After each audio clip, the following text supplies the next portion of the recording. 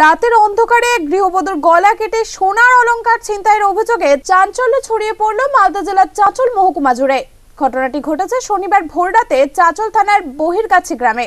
আক্রান্ত গৃহবধূর নাম লুৎফা বিবি। রক্তাক্ত অবস্থায় ওই গৃহবধূকে রবিবার পরিবারের লোকেরা চাচল সুপার স্পেশালিটি হাসপাতালে নিয়ে আসলে তার আশঙ্কাজনক অবস্থা দেখে কর্তব্যরত চিকিৎসকরা তাকে মালদা মেডিকেল কলেজ হাসপাতালে স্থানান্তরিত করে।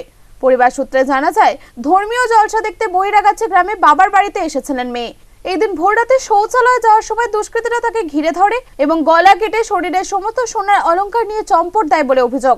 অভিযোগের ভিত্তিতে তদন্ত শুরু করেছে চাচল থানার পুলিশ। বলতে পারব না মানে সকালবেলা যখন ঘুম থেকে উঠলাম, উঠে দেখছি মানে বাইরে মানে বাইরে এক পড়ে আছে।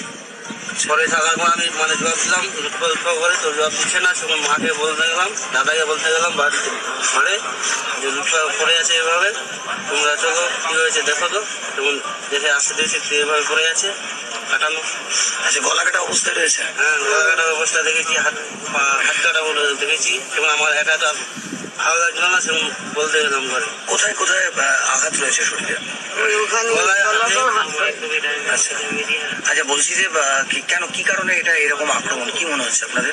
আমার তো মনে হচ্ছে যে গয়না ছিল পায়ে হাত গলার হাতে কানে ওগুলা নেওয়ার জন্য যে বদমাসি করছে লোকগুলো ওগুলো কি রয়েছে শরীরে এখন? না এখন নাই।